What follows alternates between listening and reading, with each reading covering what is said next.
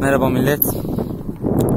Ee, Bloemfontein'den 150 kilometre sonra N9 diye bir yola girdim. Ee, Port Elizabeth'e giden. Yaklaşık bir 250 kilometre geldim ve hiçbir hayat belirtisi yok. Yani en ufak bir çay içeyim desen yok. Allah'tan depoyu doldurmuştum. Zaten biliyordum buranın böyle olduğunu da. Haritadan daha önce bakmıştım. Hani ben yine böyle en azından bir bir köy kasaba bir yerin içinden geçerim.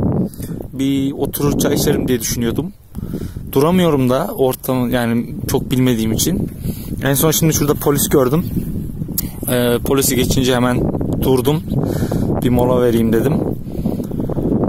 Yani bildiğin Nevada çöllerinde sürer gibi hissediyorum. Düz yollar. Çok fazla viraj yok. Şuradaki işte çok nadir virajlardan biri. Ee, herhalde bir 200 kilometreye yakın kaldı Port Elizabeth'e. Orada iki gece konaklayacağız. Konaklayacağım yani. Ondan sonrası da zaten paylaşırız. Macera güzel. Allah'a şükür bir sıkıntı yok. Motorumuz iyi çıktı. Yeni aldım. Direkt yola sürdüm.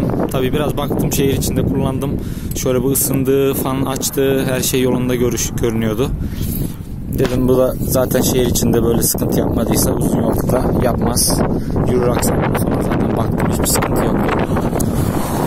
Rüzgar var. Çok fazla değil. Port Elizabeth'e yaklaştığımız belli oluyor rüzgardan. Görüşmek üzere.